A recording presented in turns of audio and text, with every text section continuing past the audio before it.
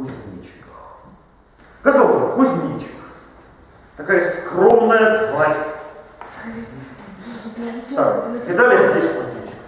Я только саранчу. Ну, здесь саранча. Это большая, да? Так. Ну? Да, такая большая. Так, еще есть здесь цикады. Мы на самом деле не о цикадах поговорим. А как выглядят? Цикада как выглядит? Как сверчок, чуть побольше. Цикада очень трещит противно вот так, да? Ну, не знаю, кому противно, кому нет. Но, в общем, примерно как кузнечик, только короче. Давайте подумаем, почему именно кузнечик, именно цикада стала такой любимицей поэтов? Слово красивое. А, Ну, слово само по себе хорошее, да? Кстати, оно одинаковое, да, что по-гречески, что по-русски. Цикада, кузнечик. Это все амфибрально, правда? Ну, если на то пошло, по-гречески оно с ударением на первое слово. Такаса. Скажем так, по-гречески это дактиль. Но, тем не менее, мы сейчас с вами отправимся в древность. В самую-самую древность. Чуть позже Гомера и Гесиода. И вспомним мы с вами греческого поэта Анакреонта. Почему я Т пишу в скобках? Потому что по-русски он чаще Анакреонт. Анакреонт. Отсюда идет анакреонтика. То есть некая лирика легкая, свободная, счастливая. Всегда представлял сам себя в стихах как некий старик, окруженный молодыми девушками. Это вообще как? Давайте подумаем. Анакреон, анакреонтика. Может, кто-то богатый со служанкой? А, нет, Анакреон богатым не был никогда. И это, конечно, и служанки. Его жены. Женой. Ну, скажем проще, это его любовница. Ну, почти. Но почему у старика, убеленного сединами, вдруг любовницами молодые девушки? История Анакреона – это дедушка и девушка. Именно так. Как вы думаете, почему? Почему так? У Ломоносова есть такие стихи. Разговор с Анакреоном. То есть Ломоносов разговаривает с тем древним-древним греком. Да? Странно это или странно? Как вы думаете? Ломоносов, поэт 18 века, вдруг берет и разговаривает с поэтом второго века до нашей эры, а то и третьего. Точные даты жизни Анакреона неизвестны. Он как бы от своего лица говорит с ним так. Анакреон. И это переводы стихотворений Анакреона. Мастер в живописстве первый. Это кто такой? Мастер в живописстве первый. Лучший художник. Первый в родской стороне, то есть в Родосской, да, с острова Родос, греческого. Мастер научен Минервы, напиши любезну мне. Любезно это Ну, благодарность. Нет, напиши любезну мне. Напиши мне ту, которую я люблю.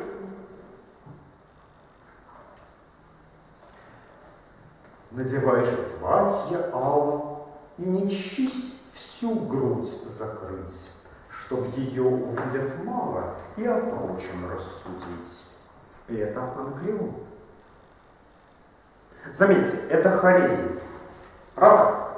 Мастер в живописстве первый, первый в родской стороне.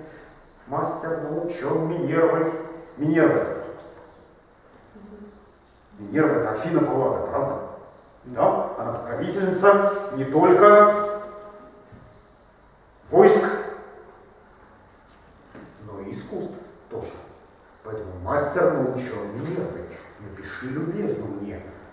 А что отвечает ему Ломоносов? мастер в живописстве первый. Какой размер сразу? Он берет то же самое, только добавляет один слог. Ямка. Это ямка, конечно. Ты первый в русской стороне. Он играет словами, да? Это не родская сторона, не родос, а русская сторона, то есть российская. О, мастер, научен Минервой, изобрази Россию мне. В чем диалог, в чем странность, в чем разговор? О чем они, собственно, говорят?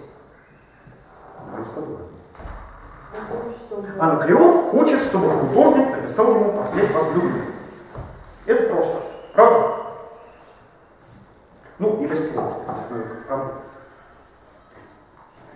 Что хочет герой Ломоносова? Чтобы ему изобразили не просто ту, в которую он влюблен, да, но Россию.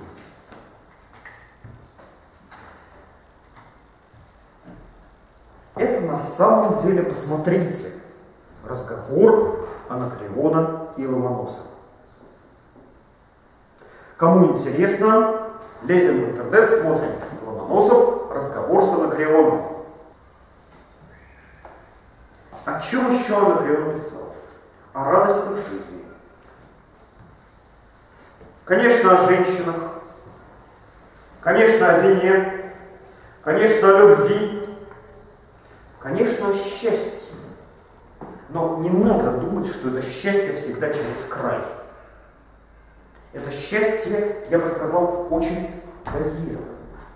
Потому что много человеку для счастья не надо. И Анакреон это прекрасно понимал. И вот отсюда, от этого имени, Анакреон, у нас целое направление и во французской, и в русской поэзии анакреонтика. То есть поэзия легкая, поэзия, сообщающая действительно о радостях жизни. Конечно, Анакреон запомнился современником, да и сам устроил свой образ в стихах, как действительно такой вот старик, убеленный сединами, вокруг которого воды Ну, красиво, правда? Да. Ну, конечно, не всегда он наверняка таким был. Чем Анакреон?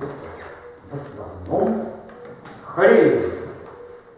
Хорей по-гречески. Или по-другому трохей. Это такой веселый плясовой размер. Тара-тара-тара-тара, тара-тара-тара, ну и так далее. Да? Неважно, сколько стоп в нем. Хорей по-гречески всегда веселый размер.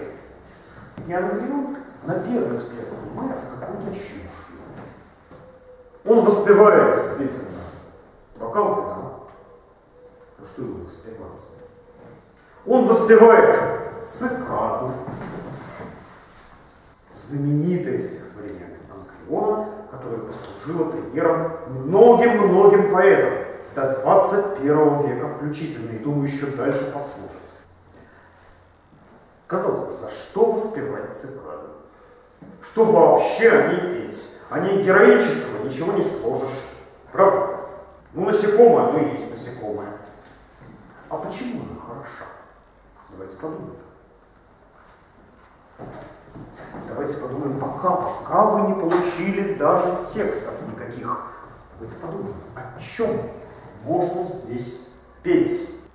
Как она трещит. Как она трещит. Ну да, трещит, это правда. Как бы поэт, да? Она однообразно и, в общем, скучно, правда? Ну.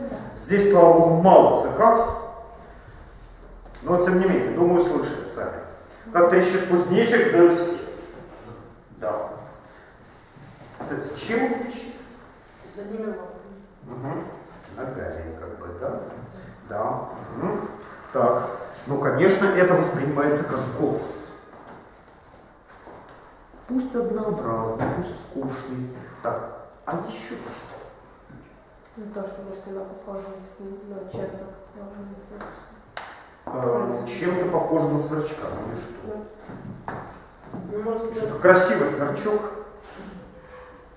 Честно говоря, сверчок не очень красивый, правда? Ну да. Да. Я думаю, все сверчка видали, опять-таки.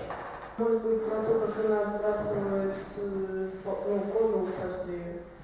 Так, это уже лучше, как она сбрасывает кожу. Ага, она действительно сбрасывает кожу, это позволяет ей прожить еще несколько лет. Цикада живет долго, кстати, да, в отличие от муравья, в отличие от кузнечика.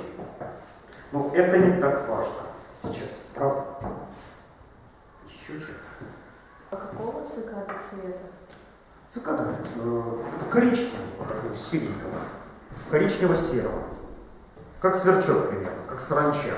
Так что цвет здесь тоже не важно, подумаешь, цикада. Ну, трещит она себе и трещит. Давайте подумаем, за что поэты его воспевали.